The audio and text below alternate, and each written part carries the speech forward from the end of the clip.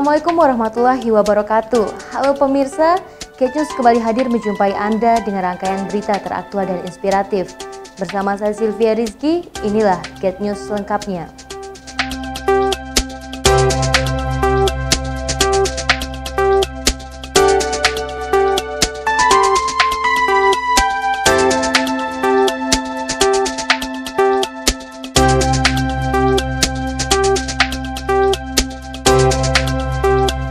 Baik pemirsa, kita awali dengan informasi pertama.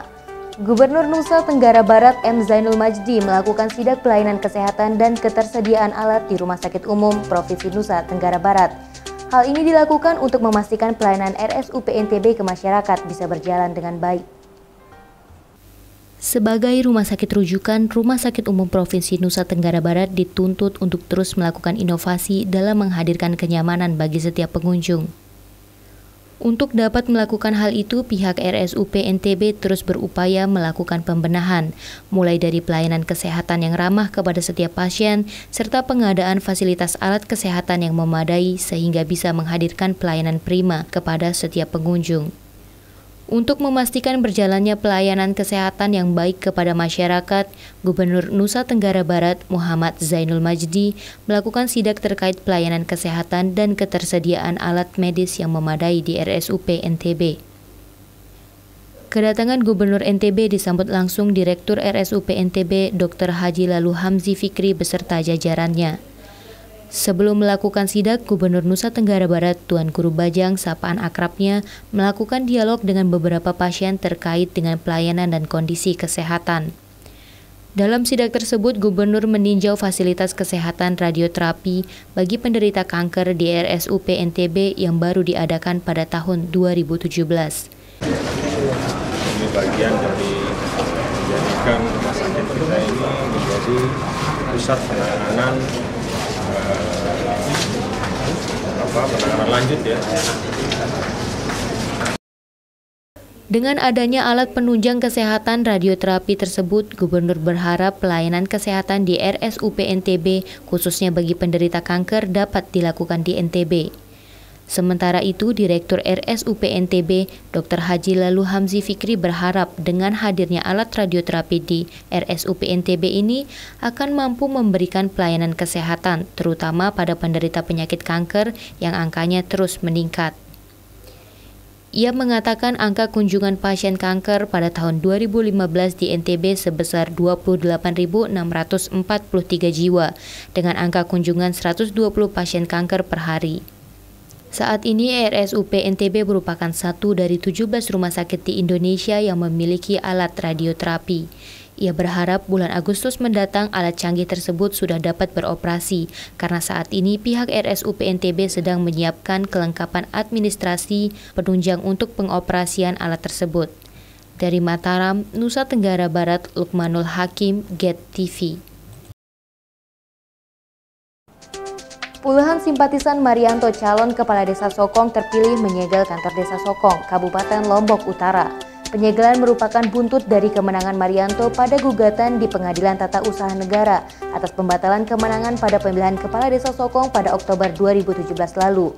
Ya pemirsa, akibat kejadian tersebut pelayanan kantor desa menjadi lumpuh total. Ratusan masa simpatisan Marianto, pemenang Pilkada Sokong yang dianulir Pemda menyegel kantor Desa Sokong, Kecamatan Tanjung, Kabupaten Lombok Utara. Aksi penyegelan ini merupakan buntut dari kemenangan Marianto pada gugatan di Pengadilan Tata Usaha Negara atas pembatalan kemenangannya pada pemilihan Kepala Desa Sokong pada Oktober 2017 lalu. Saja, kita tidak bermasalah dengan kantor desa, kita bermasalah dengan Oh gitu. Langsung juga. Masa yang berkumpul sejak pukul 9 langsung melakukan aksi penyegelan pintu kantor desa hingga pintu gerbang masuk kantor desa serta menulis tembok agar Marianto segera dilantik. Hal ini pun mengakibatkan pelayanan di kantor desa Sokong lumpuh total. Aksi ini dikawal ketat oleh pihak kepolisian, TNI, dan Satpol PP agar tidak terjadi anarkis. Pasalnya, aksi tersebut tidak ada pemberitahuan ke pihak terkait. Masa juga mengancam tidak akan membuka segel kantor hingga ada penjelasan kepastian dari pemerintah desa maupun pemerintah daerah.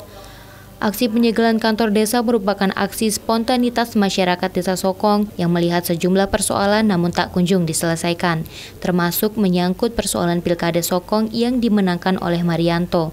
Aksi ini juga sempat membuat macet jalur raya Tanjung. Pitas ya jelas, jelas ini akan akan menghambat kantoran gitu pelayanan. pelayanan akan terhambat disebabkan karena ada segel ini. Makanya kita sarankan sama teman-teman ini harus dibuka lah dulu segelannya ini sambil menunggu proses. Karena ini kan Honda sudah mengajukan banding masalah ini dari Kabupaten Lombok Utara, Nusa Tenggara Barat, Aris Munandar, Get TV. Dan Rem 162 Wirabakti Kolonel Infantri Farid Makruf mengingatkan kepada masyarakat untuk tidak menyebarkan berita yang sidaknya tidak benar atau hoax, terutama menjelang Pilkada 2018. Ya, dan Rem berjanji akan memberhentikan semua berita yang terindikasi mengandung unsur hoax yang sering kali meresahkan masyarakat. Jelang Pilkada serentak 2018, masyarakat sering kali terpedaya dengan pemberitaan yang sumbernya masih belum jelas atau berita hoax.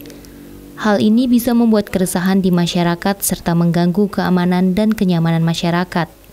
Guna mencegah hal tersebut, Korem 162 Wirabakti berjanji akan memberantas atau menghentikan berita yang mengandung unsur hoax. Komitmen TNI, kami akan stop hentikan semua berita hoax tersebut dan kita tidak akan sebar-sebarkan kalau ada berita hoax. Yang ada adalah kita akan lapor kepada Polda karena Polda sudah punya cyber uh, divisi cybernya untuk menindak berita-berita hoax tersebut. Korem 162 Wirabakti akan melakukan koordinasi dengan Polda Nusa Tenggara Barat apabila ditemukan berita hoax yang tersebar di masyarakat. Terlebih menjelang pilkada, masyarakat sangat rentan terpengaruh dengan berita-berita hoax tersebut. Dari Mataram, Nusa Tenggara Barat, Wanda Septian, Get TV. Pemirsa Korem 162 Wirabakti menggelar apel pasukan guna melakukan pengecekan kesiapan prajurit TNI di bawah jajaran Korem 162 untuk membantu Polri dalam pengamanan Pilkada serentak tahun 2018. Ya dalam kesempatan itu Dandem 162 Wirabakti Kolonel Infantri Farid Makruf berpesan kepada para prajurit untuk tetap menjaga agar kegiatan Pilkada di NTB berjalan aman, tertib, dan damai. Korem 162 Wirabakti terus memantapkan persiapan dan kesiapan pasukan TNI di bawah jajaran Korem 162 untuk membantu TNI dalam pengamanan Pilkada serentak tahun 2018. Untuk itu, Korem 162 Wirabakti menggelar apel pasukan yang dilaksanakan di Pantai Kute, Lombok Tengah. Dalam kesempatan tersebut, dan Rem 162 Wirabakti Kolonel Infantri Farid Makruf meminta kepada para prajurit TNI untuk dapat memahami dan mengetahui kapasitas dan prosedur tugas perbantuan pengamanan yang akan diberikan saat pelaksanaan pilkada serentak di wilayah NTB tahun 2018. Selain itu, Danrem juga meminta para prajurit untuk tetap siaga, khususnya dalam mengantisipasi timbulnya konflik sosial yang rentan terjadi pada saat pelaksanaan pilkada.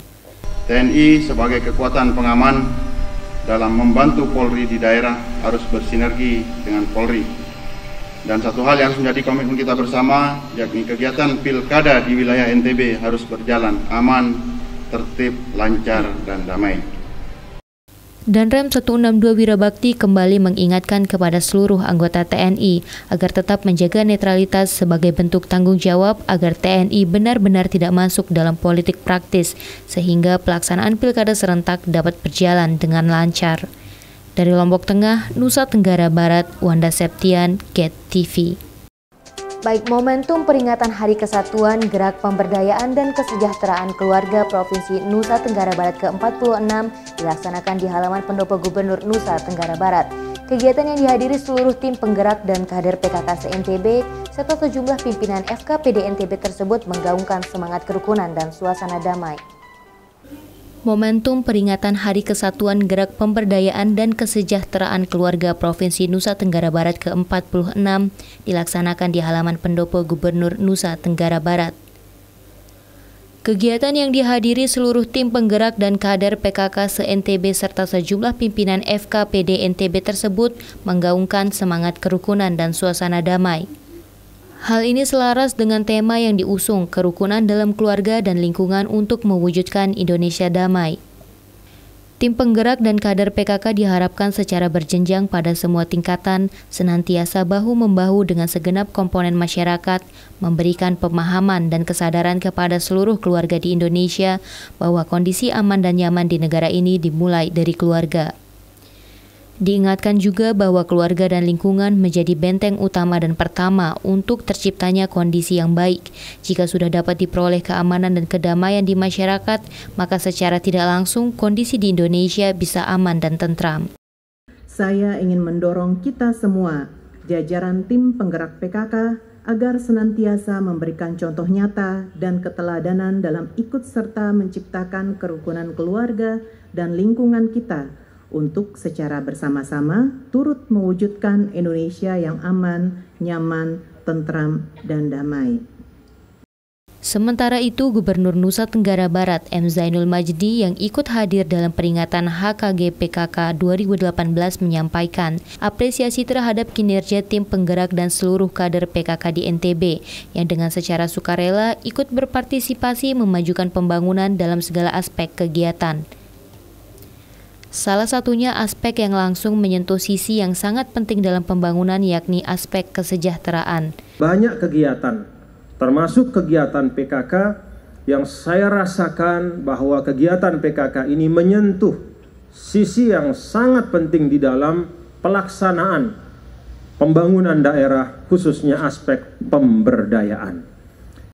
Peringatan Hari Kesatuan Gerak PKK NTB tahun 2018 ini sebelumnya telah dirangkaikan dengan roadshow di 10 kabupaten kota, mulai dari pelayanan kesehatan, sosialisasi upaya pendewasaan usia perkawinan, dan sosialisasi peraturan Presiden nomor 99 tahun 2017, serta pembentukan kelas khusus remaja yang telah berlangsung pada 5 Maret lalu.